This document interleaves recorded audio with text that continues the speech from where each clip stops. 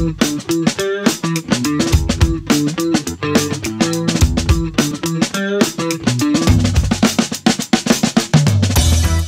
guest today is Douglas Starnes. Douglas, how you doing?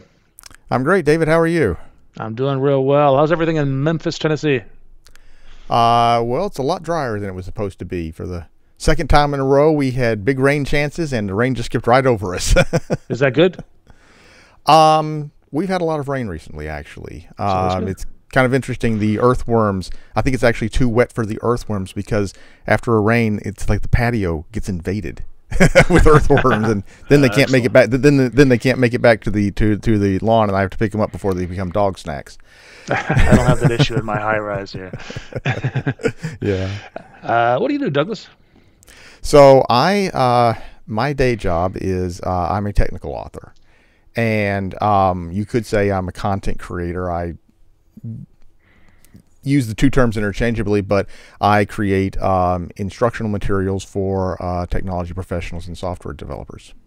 Do work for Pluralsight, uh, do work for a company out of Canada called uh, Real Python, mm-hmm. and uh, then also I publish some of my own stuff as well. Excellent. Uh, you've been a Python guy since I've known you. Uh, in fact, yeah. I, I, met. We originally met at a at a .NET conference, and you were like the guy talking about Python. Yeah, um, I've been doing so. I, I first discovered Python probably 2005 ish around there, but I've been but I've been using it uh, seriously since around 2010, I guess you could say. And uh, you know, I'm, I'm not a one trick pony. I also I also do I also very much a big fan of .NET. Mm-hmm. Uh, um, I, the mobile languages, uh, so uh, Swift and Kotlin, uh, Dart. I've been get, I've been doing, uh, been messing with, uh, working with Flutter as well, mm-hmm. um, and other things. So no, but Python, but Python is my is my go-to language. It's just um, people, you know, ask me what can you do with Python, and I'll say the correct answer is, or the correct question rather, is what can't you do with Python? There's, yeah. it's so versatile, it's so um, so flexible, and it and it and you can touch so many different things with it. And you found that it has a place in Microsoft Azure. Uh, absolutely, uh, Microsoft actually even before what I what I refer to as the open source reformation of 2014, uh, when they when they when That's when, about when, when, when I joined Microsoft. when uh, when it was when, you know Scott Guthrie came out and shocked the world, we're open sourcing .NET. Uh, but even before then, Microsoft was very heavily involved in the Python community, sponsoring Python conferences. I remember mm-hmm. going back to a Python conference back as early as 2011, and hmm. Microsoft mm-hmm. not only sponsored, but had a speaker there, somebody from Microsoft speaking about Python. So um, it's really no surprise that uh, Python is one of the is, is one of the best supported languages on Azure. And in fact, there are some places in Azure where Python is better supported than even .NET.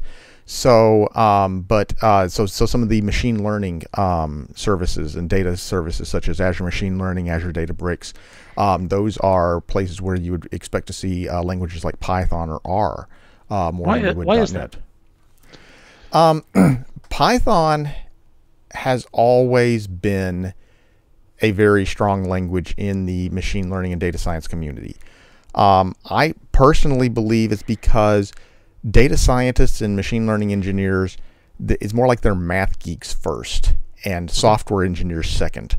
Mm-hmm. And uh, Python is just a language that, you know, I, I, always say when I do my Python 101 talk, I always tell people you can become dangerous in a weekend and useful in a week uh, if you already know another language because it's, it's, it's very simple. Uh, people say I can keep it in my head. You're not going to spend, uh, you know, it's very clean syntax. The you know you don't have curly braces all over the place, right. um, and uh, but it's it's very simple, very clean. It's not uh, you're not going to spend your time in the docs saying, okay, you know how how do I form this particular construct, everything, and uh, therefore it's easy. It, you know, it's it's easy for people to pick up. Uh, so if you so you and there are pe- many people who are even outside of uh, realms, you know, you'll have, you'll have like, like an economist or somebody who, you know, you know, just people who are domain or subject matter experts or domain experts who will use Python to um, to accomplish what they need. In fact, IPython now Jupyter and the what later became Jupyter Notebook was actually started um, by a uh, what is it? A computational, either computational physicist or biologist. However, Dr. Fernando Perez out at UC Berkeley, and not he, not a computer scientist. No, no, no. He's not a computer scientist, and he just and he just said, "Hey, I've, he's, he was using Python for, for his for his research, and he saw some shortcomings, or or some or some needs that needed to be filled, and he just started to create these this little tool together, and now he has ended up uh, keynoting the International PyCon conference several times, I believe, and um, so he and, and but, but but yeah, he's not a computer scientist. Yeah, I've run into when I used to go to a lot of user groups. Uh, there's a couple of Python groups here in Chicago, and I would run into people that were like getting their PhD in archaeology or something like that, and they, they just they needed some way to present their data, and so they learned Python, and it was it was relatively simple to pick up. Yeah, e- e- exactly. Like I said, like I said, dangerous in a weekend and useful in a week. yeah. Uh, what kind of things are you doing with it, uh, particularly in the cloud? So what?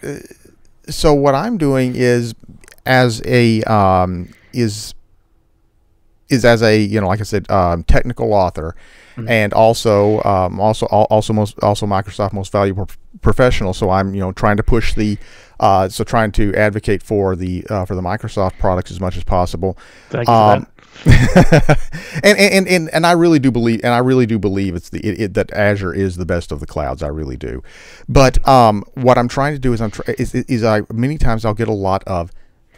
I didn't know you could do that with Python and Azure. You know, pe- people people they assume that it's you know because it says Microsoft on it that it's .NET first, and when in fact, yeah, and when in fact, of course, the stat the statistic has been out there many times that there are more Linux VMs than Windows VMs on on Azure. Right. Um, so what so what I'm trying to do is I have this is I um, actually began doing this talk uh, it was about a year ago. Um, I called it um, "Taming Snakes," uh, "Taming Snakes in the Microsoft Cloud," Okay, and it was being about the Python. right, right, right. The snakes being the python, and um, it was and it was about what you can do with uh, Python and about with Python and Azure. And one of the reasons I was doing this is because um, this is during this is kind of during one of the, the the the pandemic was still going on, and I was having people get I was having trouble getting people to speak at my Python user group. People didn't want to speak virtually, and um, so I was saying, you know, here's what you can do because because because Azure has a very generous free tier.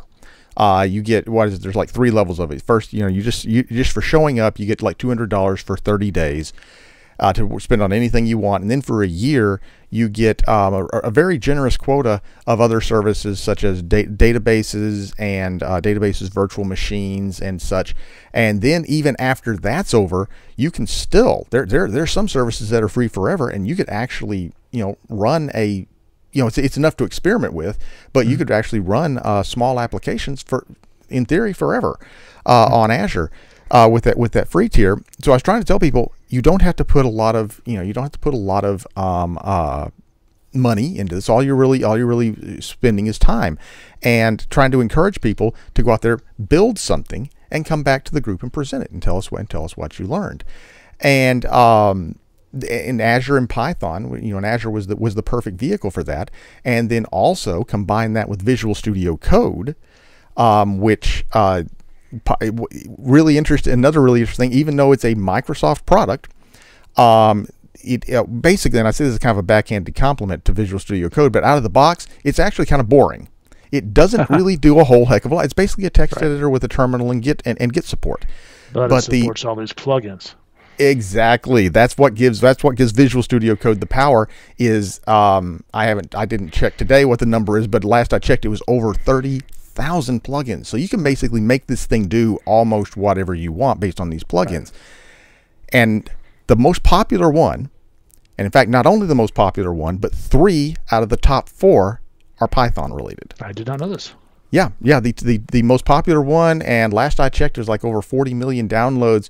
Uh, the it actually the so that would be the Python extension. That's the one that gives you all of your tooling. Uh, so things like virtual environment support, testing and debugging, um, and and um, what allows you to um, and it gives you several uh, pre-configured uh, for popular uh, frameworks. Gives you several pre-configured templates for uh, like Django and stuff. Um, but uh, that and then also Jupyter Notebook support. Uh, I mentioned IPython earlier, which uh, became Jupyter Notebook. Essentially, Jupyter Notebook allows you to have a Python session running in a web page, so to speak, and um, it's it's very it's very nice because you don't have to keep on but what it is has a um, has a series of what's called cells, and you put some Python code in a cell and you execute it, and you go on to the next one and execute it. And what happens is you can always go back later and edit what you did and um, and, and see and, and, see the updates. And these are really nice because, like I said, they're uh, they're rendered in a web page or rendered in a browser, but they're actually stored in the JSON file even even any images or visualizations, they actually store it in, in a in a JSON file. Hmm. And if you if you upload one of these to a GitHub repo, it'll render it in it'll render it in GitHub when you when you visit that file in GitHub. So this is really and since and since it's just text, since it's just text, you can put you can pull requ- you can fork these, submit pull requests, uh, and you can also but also you can render these or, or not not just render them but execute them inside of Visual Studio Code. Right. And that's that's that, that's that second that's that second most popular extension. And then there's one called PyLance, which is a kind of a static type checker. Uh, but yes, yeah, three out of the three out of the top four extensions for Visual Studio Code are um, are Python related. Yeah, I like the. I think we learned this from the open source community that Microsoft, of course, had Visual Studio, which right. is great, but oh my gosh, it's really really heavy because it does everything. and most people don't want to do everything. They, right. they want to do this these three, four, five things and uh, so a lot of that functionality was wasted. And uh, and VS Code is, as you said, is boring by itself. It's just a, it's just a shell that you can plug right. in the things that you need to do, which was what the open source community has been doing for years. Exactly. well, and and also. And, and also Python developers and many and many other languages, they um, many of them they'll have uh, like a Vim background and they'll have that minimalist. They don't want like like you said, it it you know Visual Studio. Not only is it and, and again, again, I'm not. And again, I'm not putting down Visual Studio. If you if you are a Wintel.net developer, everything Visual Studio is for you. In fact, I've seen you know I, have seen people complain about the you know the C how the C sharp support in Visual Studio Code is kind of lacking in some ways. Hmm. But um, I, I you know the, the C sharp that I do, I found I found it actually to be fantastic. But the other thing that I like about Visual Studio Code as opposed to um, Visual Studio is I work across platforms. So I mean, I'm on Windows right yeah. now, but I do a lot of development on a Mac and even sometimes Linux, and it works right. almost identically across platforms. I mean, it's fantastic. The extensions you install an extension in one, and the other nice thing about this is the extension sync. So you can so you can sync your extensions across your different installations. So if so oh, if I nice. so if I so if I oh there's my it knows that you're a, a, a Jupyter Notebooks guy, and so it'll install it onto your different machines. Hang on just a second. Let me kill my phone here. It's probably the fake IRS. they like to call me. I already got a call. I already got a call from Amazon telling me that telling me that my telling me that my um I'm telling me that my um 13 inch iMac Pro is on the way. But at any rate, um, good deal. but no, um, but no. So so so in other words, what I can do is I can install a new extension while I'm working on Windows, and the next time when I go to my Mac, it's, it's there. there. Yeah, it knows, it uh, and on you. GitHub Codespaces, GitHub oh, Codespaces, cool. yeah. that that that is the coolest thing. Um, is uh, because that's like visual, you know, it's Visual Studio Code running in the browser, backed by uh, backed by a Linux virtual machine. Again, Linux there. Uh, Microsoft loves Linux, and um, even if I sign in, even if I sign into GitHub Codespaces, I can you know I can have those you know not all the extensions, you know, not all the extensions work. Uh, you know, it would work on in the browser, but um, would be relevant. But yeah, and then uh, and then again, another thing that recently, so I actually um, until about six weeks ago, I had resisted um, upgrading to Windows 11, and one reason was because all the audio equipment I was kind of worried about about compatibility. But mm-hmm. the one thing that um, the one thing that finally convinced me was that finally pushed me over the edge was the new uh, WSL features in Windows 11. So it's Windows Subsystem for Linux, right. which basically it's a it's a it's a kind of a native virtualization. I, I am probably describing it terribly, but it lets you run. Um, it, it, it's an out of the box solution included with Windows for running Linux virtual machines, and it is fantastic. Um, and the thing that I like about using this with Visual Studio Code is that um, it, it's very simple. It's just an extension uh, for Visual Studio Code. They'll see all the WSL instances that you have on your machine. And uh, but what I like about it is for each one, you can actually have a different set of extensions. Because um, what I found is that Visual Studio Code, um, you know, there's 30,000 extensions out there. It's very easy to get over 100 of them that you want to use. And it doesn't really slow it down, but I have found that there are there can be conflicts sometimes. And so that's what's really nice about um, WSL or, or connecting really to any virtual machine. Um, you know, so you can connect to a Linux virtual machine running on Azure and still and still do and still do something similar. But uh, I, I use this really I use this extensively with with uh, WSL because um, it, it, take it takes no time whatsoever to spin want to spin up a new one. Uh, they don't really take up, I mean, I can have several running at one time and they don't really take up a whole lot of memory. And for each one of them, though, I can have, um, and that's also something else that's really cool about codespaces is there's a file um, that you can include called, uh, is it devcontainer.json, I believe. And it basically um, configures the, it basically configures your, your development environment.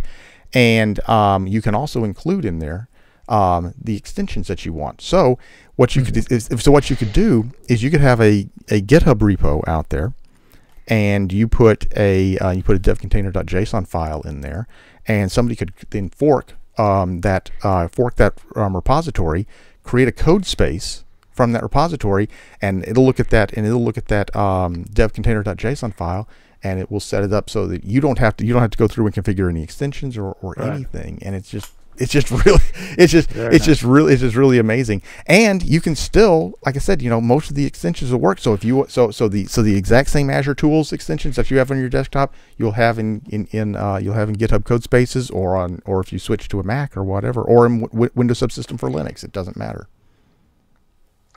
Very cool. Wow we're going all over the map here yeah i want i want to i want to talk to you a little bit more about uh, python and azure mm-hmm. is there anything that um, you cannot do in Azure with Python that uh, that you think that we ought to be able to do? Um, well, there are some there are some services that are not available. Um, for example, the SignalR service. That's that's obvious. You know, that's obviously going to be going to be ASP.NET only. Okay. Um, but you could every, do that with Python anywhere. Are there things that you can do with Python, say, uh, locally that that just aren't supported in Azure? Um, well, some. I mean, I guess I guess one thing might be uh, uh, GUI applications. That's something that's going to be um, uh, that's going to be local only. Of course, you, of course, you could, you know, you, you can definitely access Azure services from a, you know, from a GUI application running locally. Um, that's that, that's kind of, that, but I believe, you know, I believe that's kind of stretching it, saying that you can't run GUI applications in Azure because you can't really run GUI Windows applications in Azure either, unless you're on, of course, a, a, a Windows VM.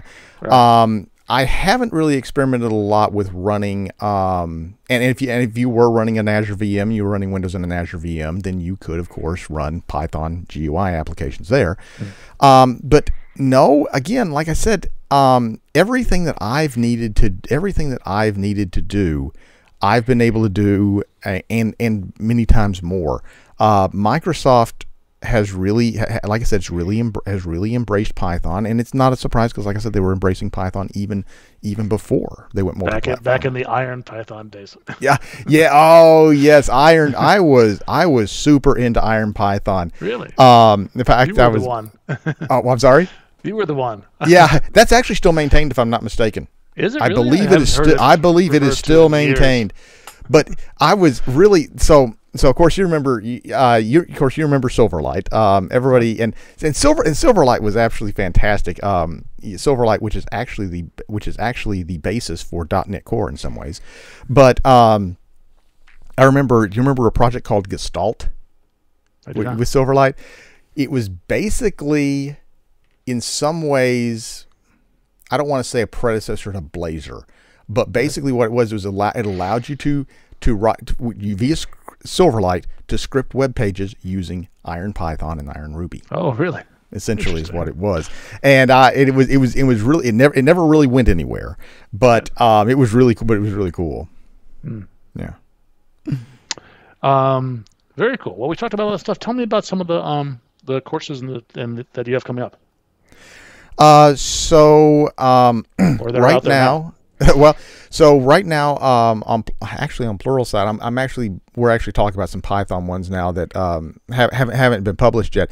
Um, but I did uh actually did quite a, actually did quite a bit of mobile over the over the last two two, two years or so. But hmm. um, you know, I've done I've done things with uh, it's mainly in the data science uh, community. Got a really popular actually got a really popular course that um, hopefully will soon be updated um, about um, Jupyter Notebook.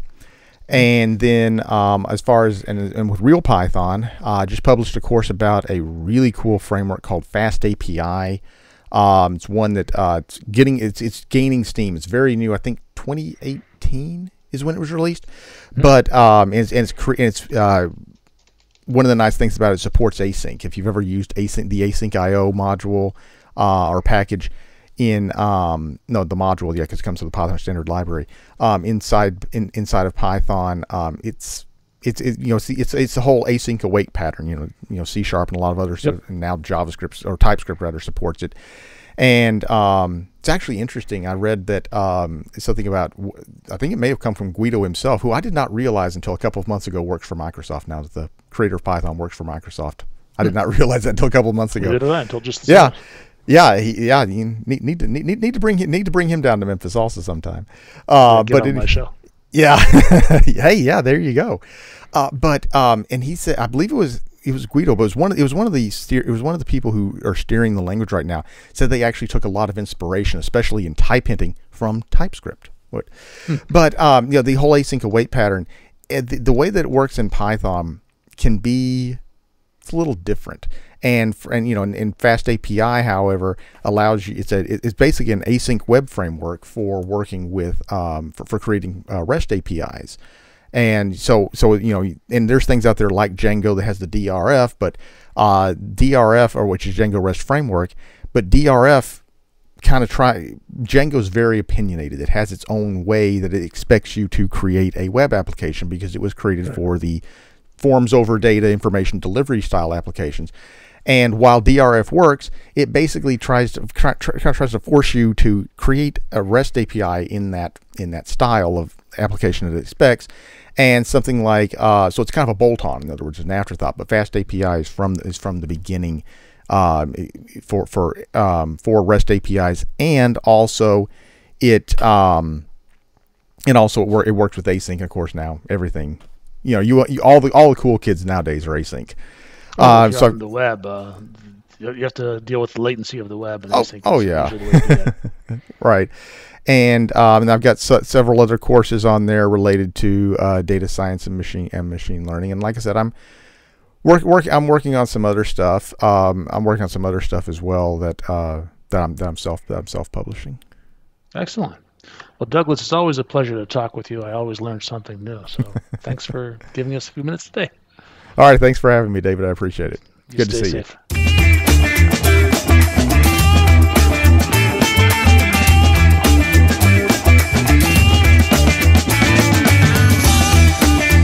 As a technology professional, you are able to benefit from participating in an active community. And you won't just meet new colleagues in the community, you'll make new friends. This is important with in person events starting back up. Check Meetup and LinkedIn to see what community events, user groups, and conferences are coming up near you.